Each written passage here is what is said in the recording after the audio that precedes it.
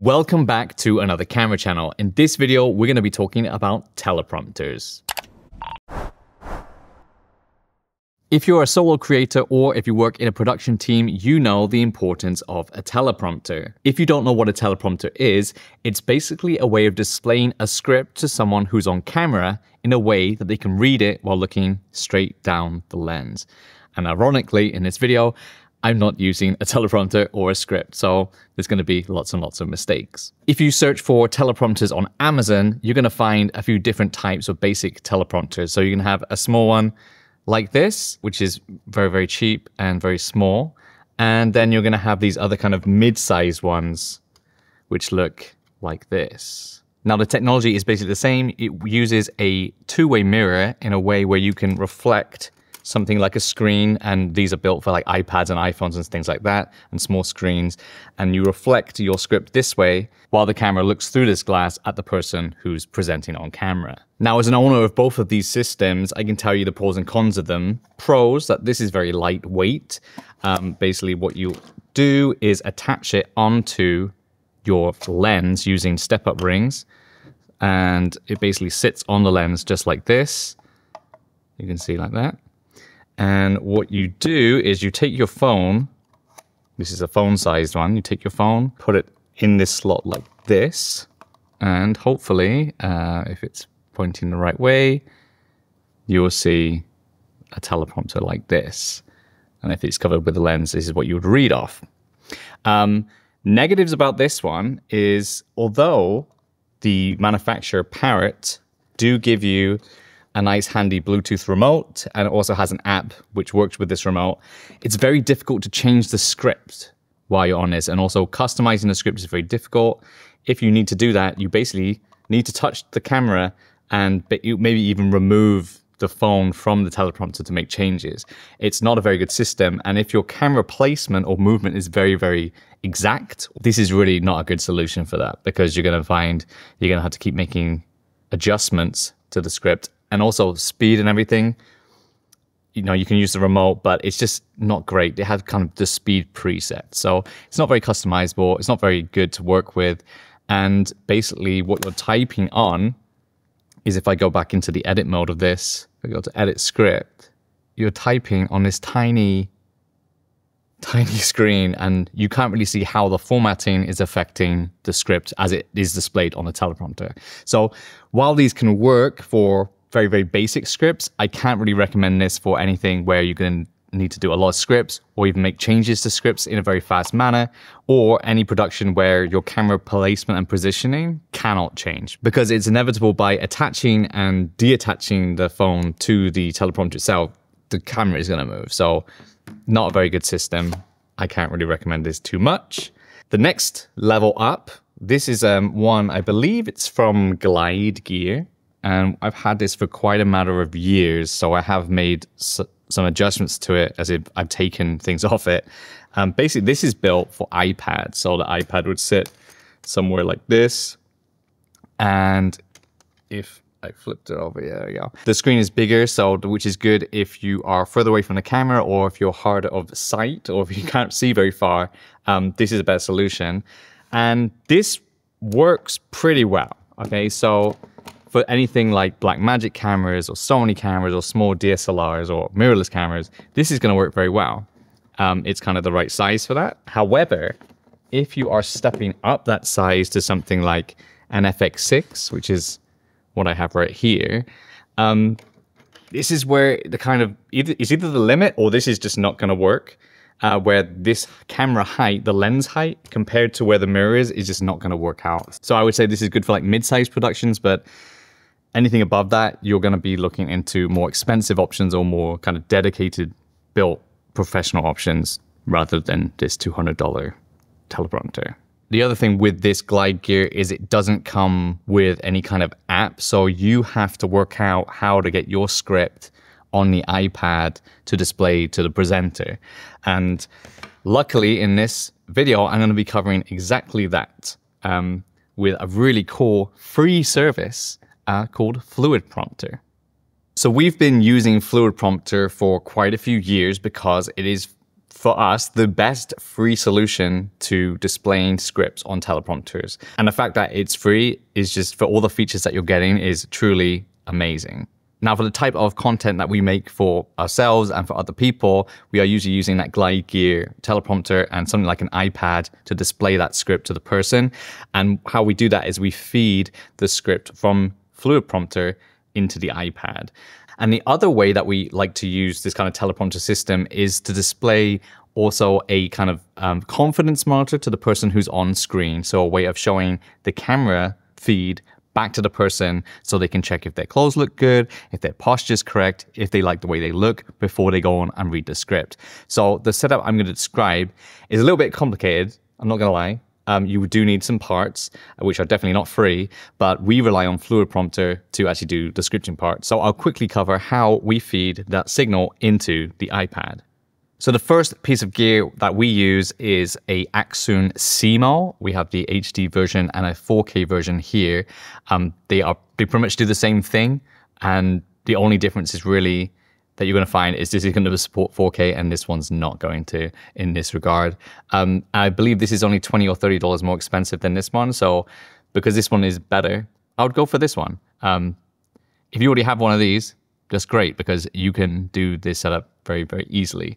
How this works is you feed an HDMI cable into this, you power the SeeMo with a Sony NP-F battery, and you feed via USB-C or if it's an older iPad, a lightning connection Apple cable, and you feed it into the iPad or your iPhone. So we're going to be using the 4K version of the SeeMo for this demonstration, and for power source, I'm going to be using the Portkeys BD1, and make sure that you're using the 8 volt side, which is the side with the yellow um, connector part here because this will stop the power going over 8 volts and this SeeMo can only take 8.4 volts. Um, so make sure that you're using the correct side so you don't blow it up. And then we can connect our USB-C because we're going to connect it to the iPad and make sure that you connect your HDMI cable in here. And this can be any source that you want, which is really cool about the SeeMo. You can connect any HDMI source and display it on your iPad. So turned it on. I'm waiting for it to recognize the signal. There we go. So this is the camera screen on here. So this is a way of displaying like a confidence monitor to the person who's speaking on camera. And what you would do, if I bring up the teleprompter again, put that in here like that. And there you go. So you could look at yourself on the screen while looking at yourself. this is really cool. And you have all these really nice features in the SeeMo app, like you can do false color and things like that. So if you're doing like lighting adjustments, that's very useful. So we can turn it off there. So now we've got that going. So basically we're using an ATEM Mini Extreme ISO um, to control our inputs and outputs. You could also just connect directly to the SeeMo. However, if you want to do the swapping between the camera and the script, you're going to need to connect via a switcher of some kind. So if I connect now the laptop or MacBook here to the ATEM, I can then swap over and display Fluid Prompter. So now we got the laptop display signal going into our iPad via the SeeMo. And this is how basically we would do it. We would be putting our script in here and you have options to flip the script inside of um, the browser here. So I can flip it like that. So it's the right way round. But now you'll notice that on the laptop, it is also flipped. So that's not that useful. But this is where the SeeMo comes in handy because on the SeeMo, we have a option is it has this flip control here. So I can flip it here and now it is facing the right way all the time, which is really good for us. And why Fluid Prompter is so good is because you can just easily make changes to the script like, hello, this is a script for a video. So you can make easy changes to scripts on the fly and then go back into display mode. And it's very easy to control by just scrolling your fingers up and down on the page. And these are just the default instructions, but it's very easy just to copy and paste a full script from Google Docs or whatever into here and then get to presenting straight away. However, if you don't need this confidence monitor setup, you could get rid of the ATEM and the SeeMo because Fluid Prompter has a really interesting trick up its sleeve. And that is that it's completely browser based. And you can share your teleprompter to someone else or another device just by using a browser. Let me show you how that works. Before we continue, I recommend that you make at least a free account on fluidprompter.com uh, because it will get rid of any word limits or restrictions that you might have at this point. Uh, so make your free account, log in, and then start working on a script. And then what you need to do is go to the top right hand corner of the script and click share prompter. And it's going to show you two QR codes. And you can either pick a remote or you can pick a viewer. And what we want is a viewer.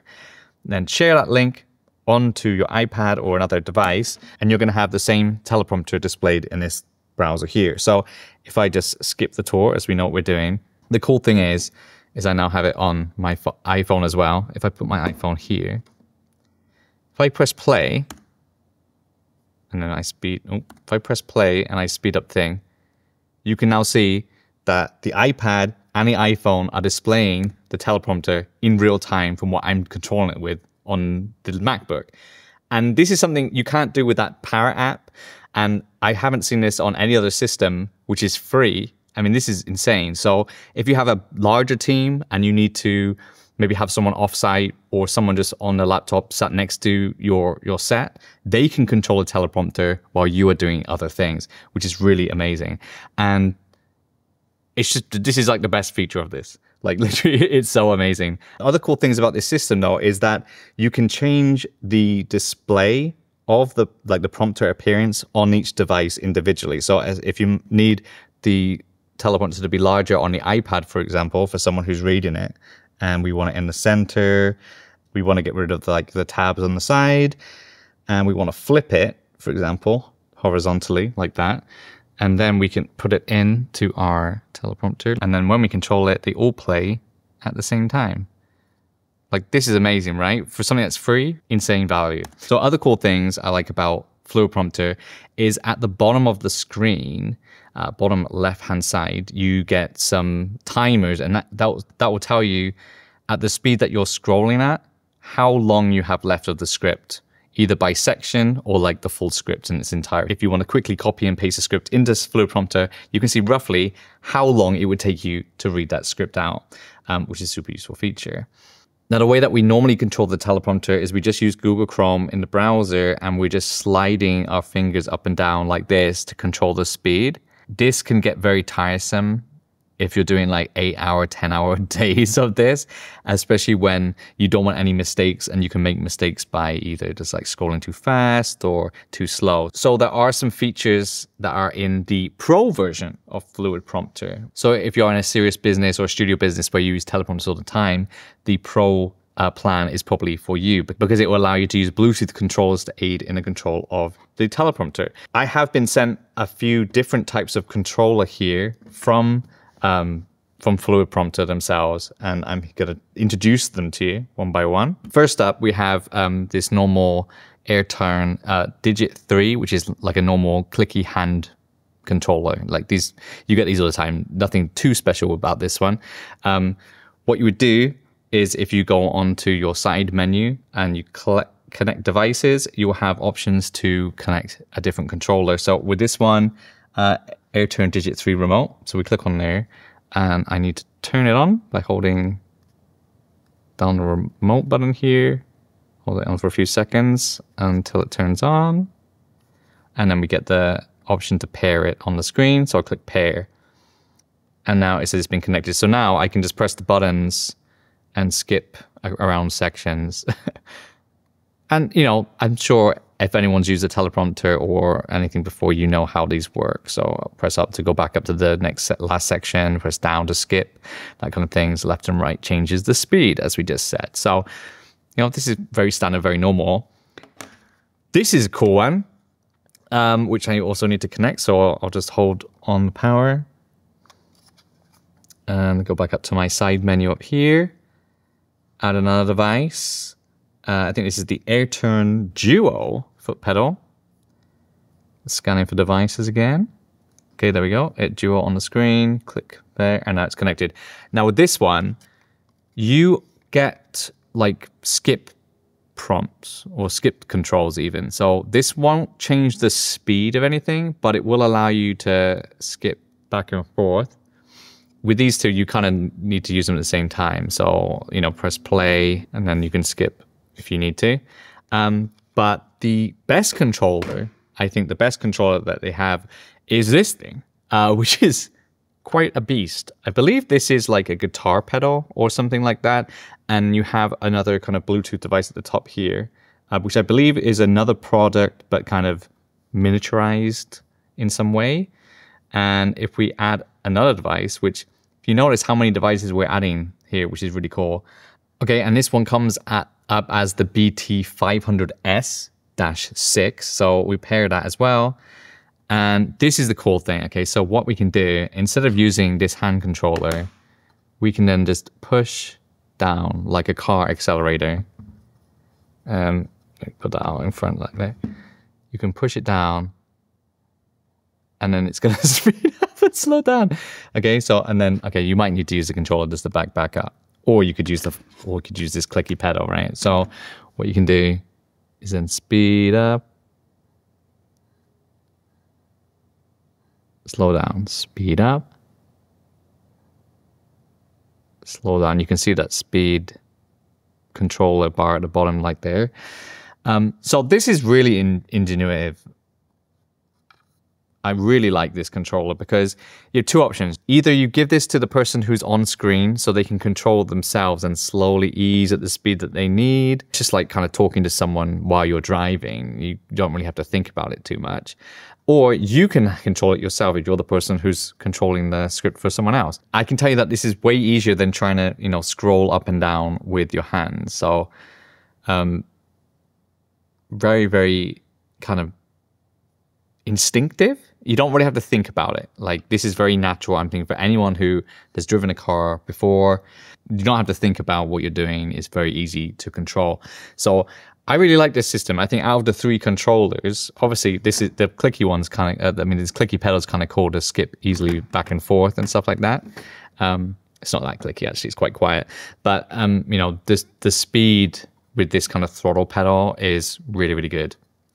But these obviously are not free. Uh, if you want to buy these kind of remotes, you need to click on the page under connected devices when you go to connect another device, um, you have an option at the bottom to, that says buy a remote, and that will take you to the Fluid Prompter website where you can find some of these remotes. I believe this is a prototype right now, um, so it's not listed on the website, but um, I think you should email the Fluid Prompter team and bug them to get this quick, out quickly because this is like a game changer um, for teleprompters. Like this is really, really good. Such a great product. So yeah, if you're interested in Fluid Prompter or um, these remotes, please go to fluidprompter.com. Um, there's no affiliate links or anything. I don't gain anything if you sign up or if you don't sign up. However, even if you just use the free account, um, when you sign up, if it says the option to who recommended you, just type in another camera channel in the other section because uh, I'm sure the owners would love to hear that you've come through this video to Fluid Prompter. And you know, it's free. You got nothing to lose and it's definitely, in my opinion, the best uh, like teleprompter app out there for all these features, and it's free. And be paying a small monthly fee, you get to use these cool controllers. Like if you do this a lot, it's going to save you so much time and so much stress. So go sign up at fluidprompter.com. Thanks for watching this video. If you enjoyed it, please hit that like button down below and leave a comment about what you think about Fluid Prompter. As always, subscribe for more content just like this, and we'll see you in the next one.